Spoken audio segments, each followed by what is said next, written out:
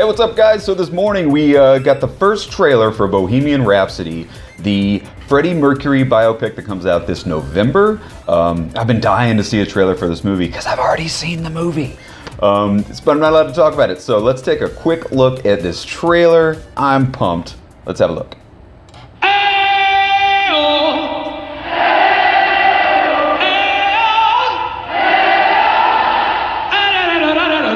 So good.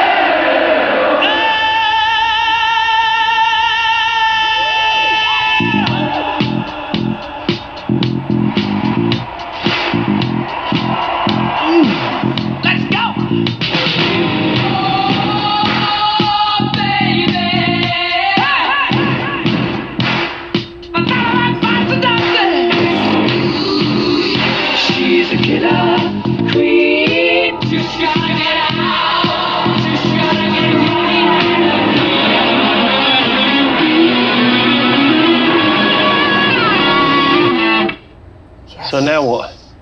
Uh, this is when the operatic section comes in. Oh, the operatic section, yeah. Awesome.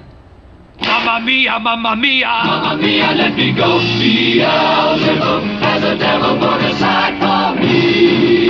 For me. For me. it goes on forever, six bloody minutes. I pity your wife if you think six minutes is forever.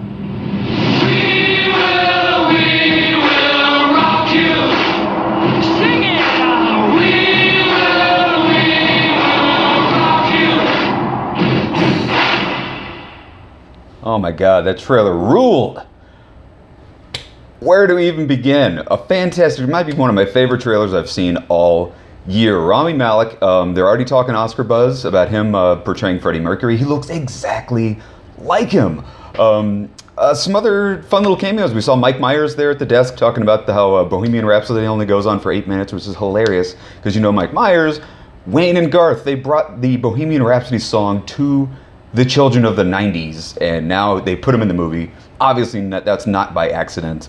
Um, God, it just looks amazing. It just looks absolutely wonderful. One of the best cut trailers I've seen all year. The movie comes out in November. Get excited. I hear it's a really amazing, amazing film. We're talking Oscar buzz for Rami Malek and with the uh, the script that they've wrote. So get excited. Bohemian Rhapsody comes out in November. That trailer was awesome. Thanks a lot for watching. For more nerd news like this and trailer reactions, click that subscribe button down there or join us at uh, youtube.com slash chuckload of comics.